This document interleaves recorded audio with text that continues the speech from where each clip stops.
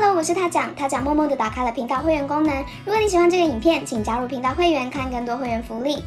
今天我们要来探讨，为什么日本动画在世界拥有超人气，但日本的电影或是日剧却没有办法像这几年的韩国一样打开全球市场呢？日本动画如何享誉国际，想必已经不需要多说了。大家都知道，《鬼灭之刃：无限列车篇》在日本创下了影史奇迹，成为了史上最卖座电影。而在台湾，它也写下了动画电影史上最高票房纪录，甚至在美国，它也创下了外语电影首映票房第一高，成为美国首映外语片冠军。吉普力工作室、新海诚导演、占卜系列的《海贼王》《火影忍者》，这些日本动画不止在亚洲，而是以全世界规模深入大家心中。如果我们去看日本动画协会的产业报告书，就可以发现，二零一九年日本动画产业规模达到两兆五千亿日元，呈现出一个非常漂亮的成长趋势。在这样的日本动画产业的对比之下，日本的真人电影甚至是日剧，以国际规模去看的话，就显得弱小多了。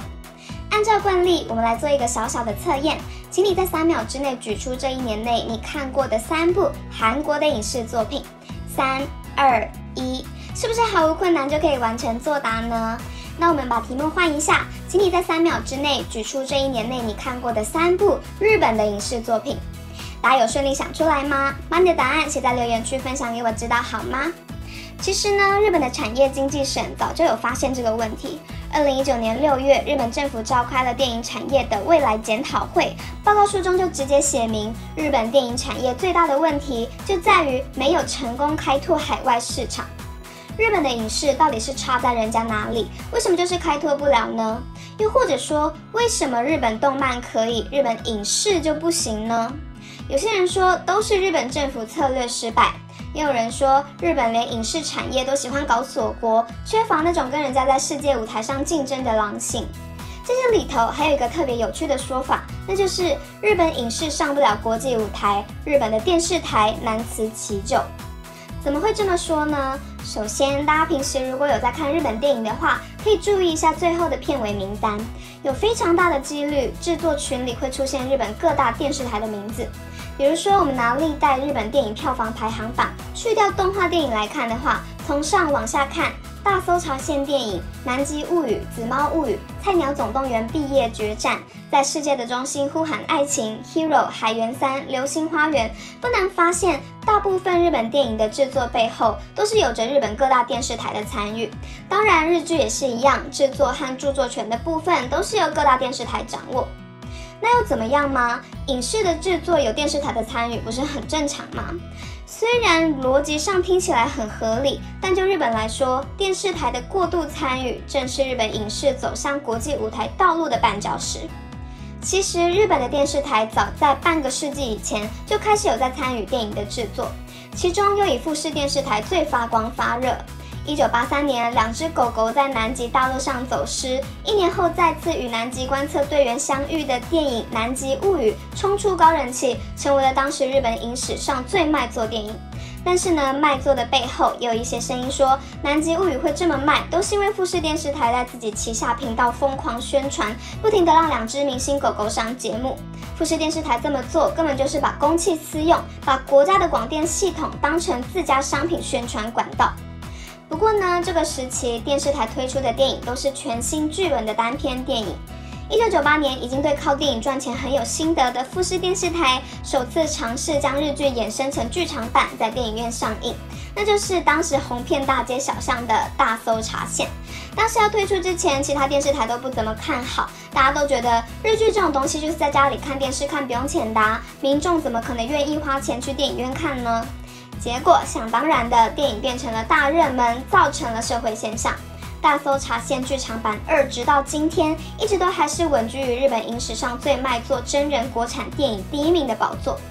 这次的成功，让其他在旁边看的电视台们口水流了一地，纷纷摩拳擦掌，参入电影制作事业。日本电视台有《死亡笔记本》《二十世纪少年》《Always 幸福的三丁目》，TBS 电视台有《在世界的中心呼喊爱情》，现在很想见你，日本沉默。朝日电视台有《圈套剧场版》《相棒剧场版》《男人们的大河》。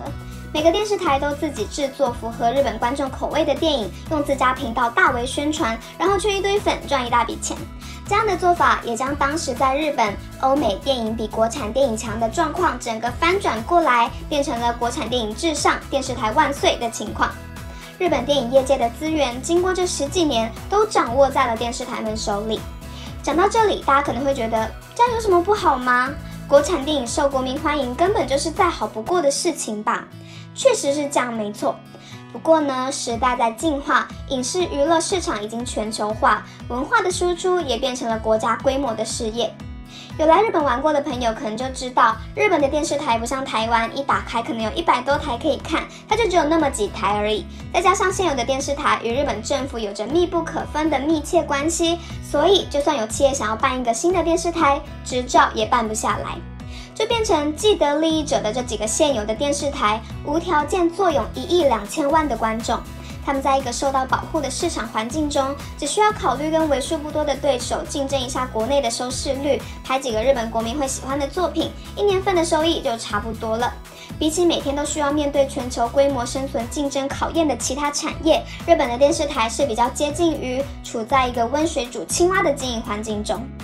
半世纪处在这样的状况下，突然要他们去做出能够在世界上打出一片天、媲美韩国甚至是好莱坞的作品，对他们来说难度实在太高了。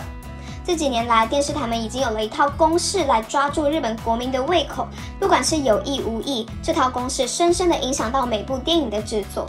但是呢，这套针对日本人的公式一出日本就没有任何的作用，甚至会被认为是千篇一律、老调重弹。自然，国外的观众不会买账。不仅仅是如此，电视台也缺乏想要征服世界的狼性。国内的一亿两千万人口就够我吃了，花预算费心思去挑战国外，风险太高了，不要吧。我们刚刚说，电视台过度的参与，正是日本影视走上国际舞台道路的绊脚石。这句话后面还有一层意思。通常各国的电影都是由制作公司独立制作，然后由发行商买下版权，再往下发行给电影院或是卖向国外。但日本这些电视台参与的电影，就算电视台只是出钱投资，实际拍摄是发给其他制作公司做，电视台也会以依照惯例为由，将著作权紧紧捏在手里，干涉内容的制作，并且要求契约上必须写明电影完成后的贩卖窗口由电视台完全独占。也就是说，电影的内容跟电影的贩卖，实际上都是由电视台在背后操控的。业界专家就说啦，如果日本可以像其他国家一样，电影由制作公司独立制作，著作权和贩卖权都可以自由的运用，那也许日本电影在国际的状况会很不一样。